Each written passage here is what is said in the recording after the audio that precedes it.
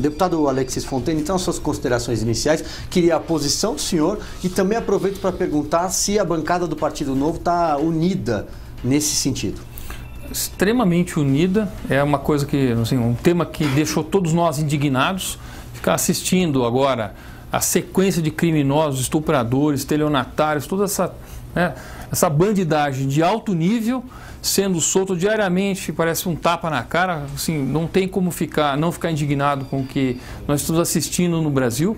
Então, a bancada é completamente unida, uh, quem faz parte, que compôs a, a comissão né, de Constituição e Justiça, é o nosso deputado Gilson Marques, de Santa Catarina, com a Adriana Ventura, que é a suplente.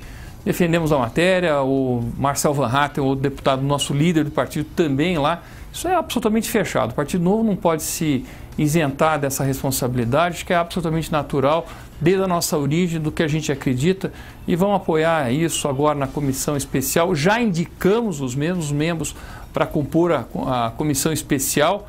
E agora, como diz muito bem o Alex Manente, temos que trabalhar.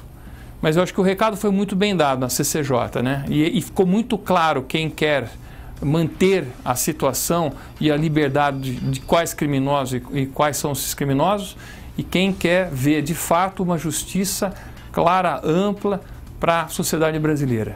Não podemos manter esse regime, que é um regime único no mundo. Vamos ser claros e, e objetivos aqui. É o único país desenvolvido né, com uma característica democrática que ainda mantém essa, essa condição assim, surreal de liberdade ou de recursos infindáveis para esses criminosos do colarinho branco e poderosos.